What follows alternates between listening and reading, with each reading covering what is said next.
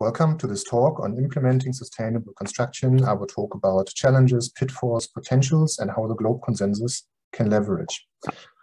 My name is Wolfram Schmidt, and I work at the German Federal Institute for Materials Research and Testing in Berlin. And this is all about sustainability, and sustainability, as we all know, in the meantime, has really become on the public and political agenda, not at last with the formulation of the United Nations Sustainable Development Goals. And with a little bit of delay, also the entire framework of the built environment, the construction business has started to consider sustainability as one of the major um, challenges of the future. As we all know, the built environment is responsible for about 40% of the global energy demand and the global carbon emissions. And indeed, there are two sustainable development goals which are directly linked on um, sustainable cities and on infrastructure.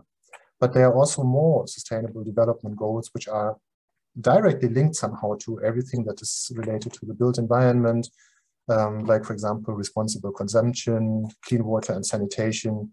And then there are some more, um, a little bit more indirectly linked um, sustainable development goals, which are also kind of connected to uh, sustainable built environment, sustainable construction, and uh, construction materials consumption. So at the end of the day, we see that the built environment is heavily affecting the achievement of the sustainable development goals of the United Nations.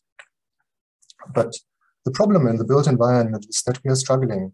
We, um, we are struggling with the definitions, with measurement of sustainability, how to incorporate this into our financial markets, how to develop policies, how to model and uh, also which are the objectives and targets that we need to achieve. So the reality is, unfortunately, that we are rather busy with um, understanding the present and the past or finding kind of uh, bureaucracy for dealing with it rather than implementing what we already know.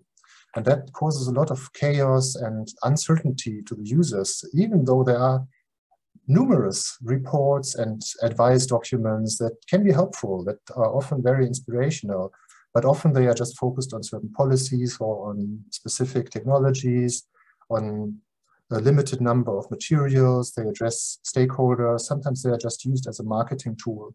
sometimes they are also a help to assess sustainability, to bring it into numbers. But the problem is that these assessment tools are so complicated.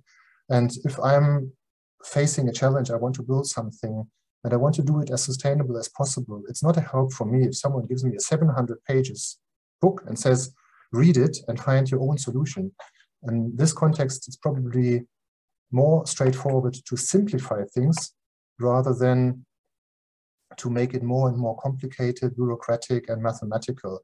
The 10 golden rules for sustainable urban development developed by the Falcones Consortium, which is a um, female-driven um, researchers, a decision makers network, is probably a very good approach uh, because it simplifies sustainability in this specific case on urban development uh, to those parameters which are valid all over the world, regardless of the boundary conditions. There's a simple version and also a commented version, um, which is quite interesting to read because there are some simple truths which are valid all over the world. We know that we have to use low emission technologies, low energy demand technologies. We want to avoid resource depletion. We want to create something with longevity.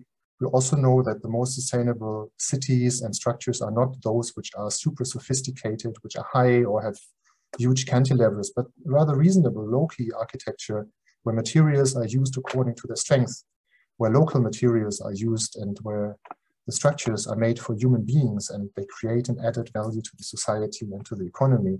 This is where we have to go. But the problem is that in every part of the world, and uh, depending on the situation, um, the decision making takes place, uh, different priorities will be given to these items. For example, it makes a difference whether I'm coming from regions where I'm way above the per capita carbon emission threshold to limit the temperature increase until 2050 to 2 degrees Celsius. And here we're talking about the 2 degrees um, target and not the 1.5 degrees target, which is more uh, on the agenda today.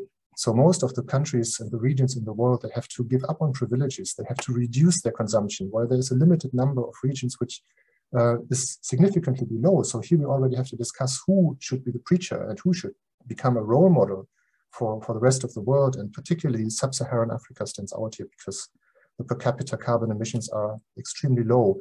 If we take a look at this region, however, we also see that there are so many huge differences. Just as an example, four cities, Lagos, um, Accra, Dar es Salaam, and Blantyre, all on the same continent, and they will all become mega cities in the near future.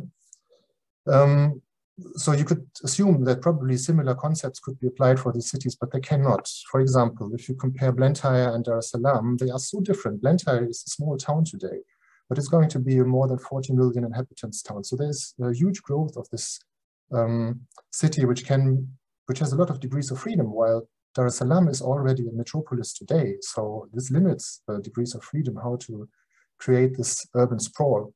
Then you could compare Dar es Salaam and Lagos, which have similar dimensions in the future, 70 million, 80 million inhabitants.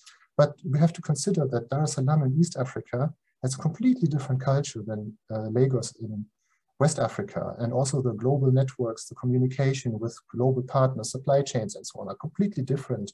So um, also here, different concepts have to be developed, different priorities have to be given. And even in the same region like Lagos and Accra, we can see that Lagos is growing vertically while Accra is growing very horizontally, which is certainly an effect of the landscape, of the geographical boundary conditions. But then again, we also see that uh, earlier or later, cities always grow vertically because we assume that the real estate market and the optimization of, um, of financial gains due to um, urban structures um, is always given priority. But if we take a look at it from a sustainability point of view, we have to put that into question because huge structures are typically always materials wasting.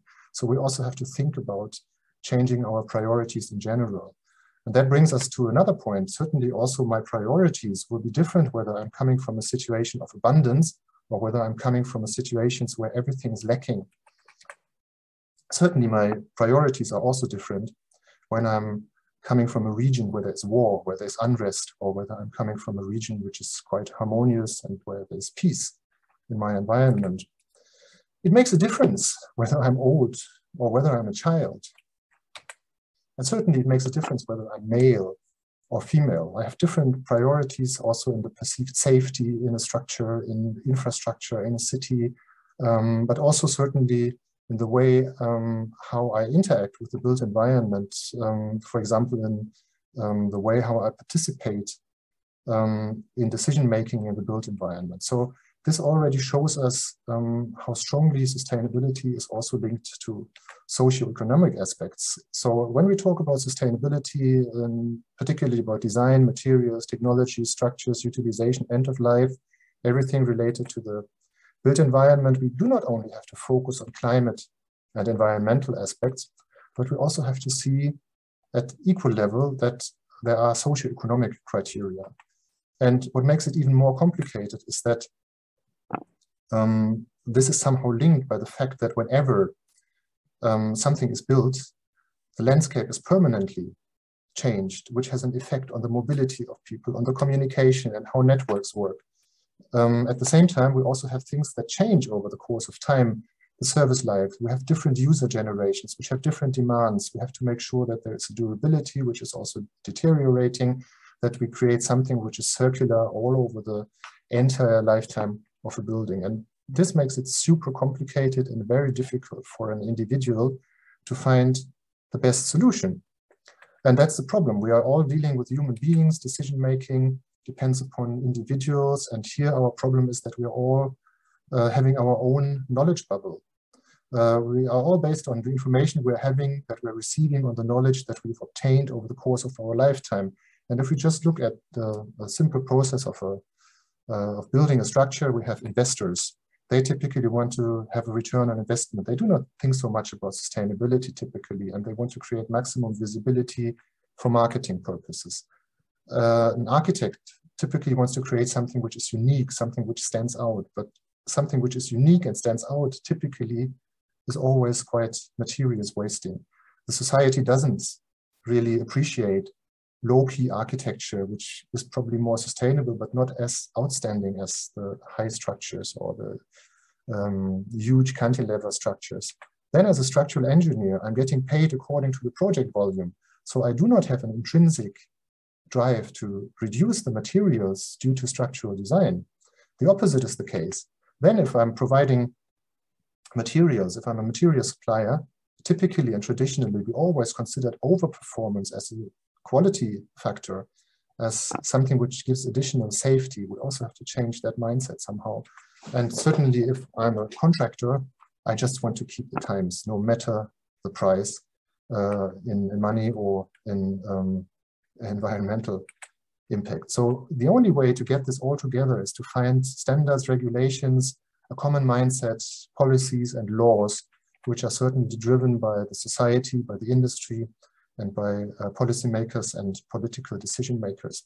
And this is where the GLOBE consensus comes into the game, because the GLOBE consensus wants to provide this policy advice and also provide public information.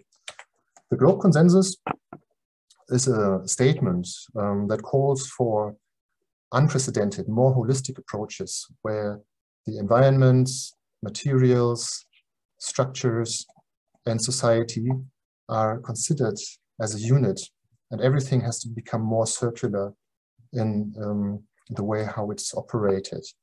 Um, certainly, this is something many people have stated, but the unique item of the GLOBE consensus is that um, the GLOBE consensus agreed, was agreed upon between major international institutions that deal with all the relevant aspects for the built environment, bridges and structures, structural design, building construction research, structural concrete materials, and also shell and spatial structures.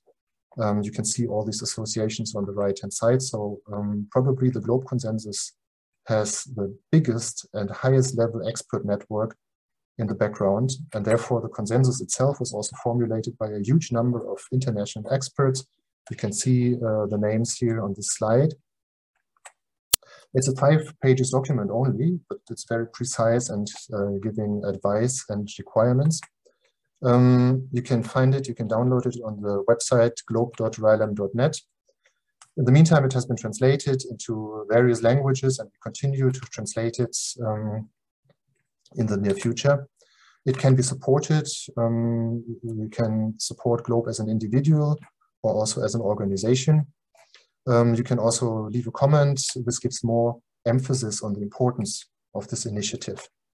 And just to understand that GLOBE is not only a statement that was made once, but GLOBE also wants to bring something into the future. Here's the way how it operates. So the different associations that I mentioned before, they have a liaison committee where they adjust their strategies. In the past, they have already formed the Joint Committee on Structural Safety. That was already 1971.